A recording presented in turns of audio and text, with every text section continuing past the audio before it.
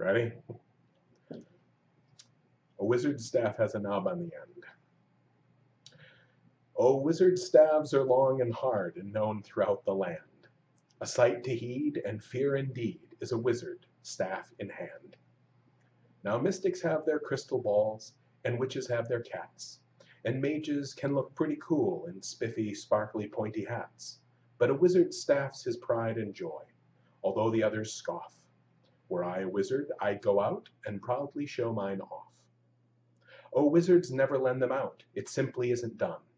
Did, Bil did Bilbo's friend, this Gandalf, lend his staff to anyone? Now warlocks have their pentagrams, and prophets have mushrooms, and sages seem to get their kicks alone with books in musty rooms. But wizards' staves are their best friends, or so I've heard them say. Were I a wizard, I'd go out and use my staff today. But if a wizard loses his, he'll wish that he were dead, for wizards will laugh at a wizard's sans staff, or one with a wand instead.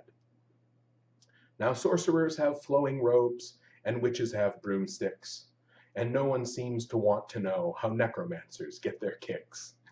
But wizards' staves are judged by length, if you believe in such. Were I a wizard, I'd go out and not amount to much.